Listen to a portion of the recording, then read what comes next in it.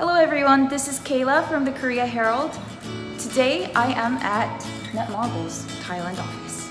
넷마블 태국의 법인장님, 김건우 법인장님 모시겠습니다. 안녕하세요. 안녕하세요. 네, 오늘 회사 좀 보여주시겠다고 하는데요. 네. 한번 구경하러 가볼까요? 네. 이쪽이 이제 저 테크니컬 파트랑 지금은 주말이라서 출근을 안 했습니다. 네, 좀 CEO실인데요. 많이 좀. 코디네이트. 게임 회사 책상 위에 티가 많은 자리입니다. 스와티나. 주말에 네. 원래 지금 카메라 앞에서 약해져서. 네, 안녕하세요. 저는 넷마블 타일랜드 법인장 맡고 있는 김건우입니다. 아, 태국 온 지는 10년이 조금 넘었고요. 10년이 넘었고 처음에는 저 혼자 사업을 시작을 했습니다. 어, 제가 사업을 하고 있던 차에 넷마블에서 어, M&A 제안이 들어와서 아, 글로벌 사업의 경쟁력을 갖추기 위해서는 넷마블이랑 같이 하는 것도 괜찮겠다. 지금 현재는 이제 어, 넷마블 타일랜드 자체가 이제 넷마블이 대주주죠. 어, 태국은 그 아시다시피 관광대국이고요. 여러 외국 문화들이 어, 많이 접하는 그 접점에 있는 나라입니다. 그래서 어떤 뭐 글로벌 문화에 대한 그 호환성이 굉장히 높고요.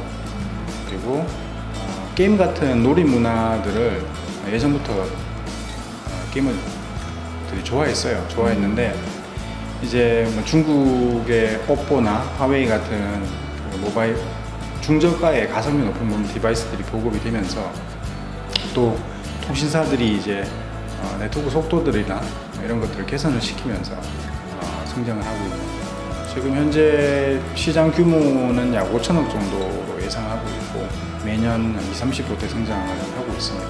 예전부터 동남아에는 그 신용카드 보급률이 되게 낮았어요.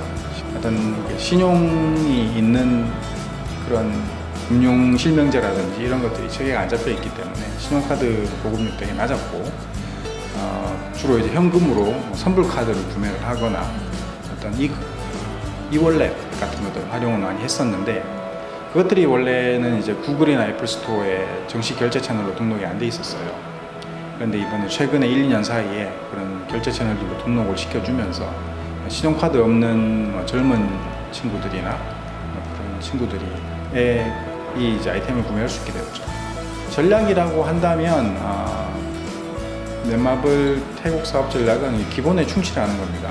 태국 게이머분들은 조용히 게임을 플레이를 하고 불만이 있으면 그냥 조용히 떠나가시는 편이에요. 조용히 떠나가 버리면 저희가 피드백을 캐치하기가 굉장히 힘들잖아요.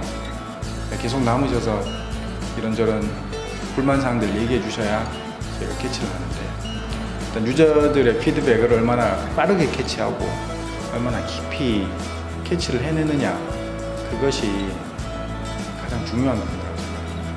그 한정된 자원 내에서의 매출을 높이자 이런 목표가 아니라 태국에서는 새로운 타이틀들로 그 시장을 개척하는 의미, 시장을 선도하는 어, 포지셔닝으로 목표를 하고 있습니다. 감사합니다. 네. 가기 전에 사진 네네네. 찍고.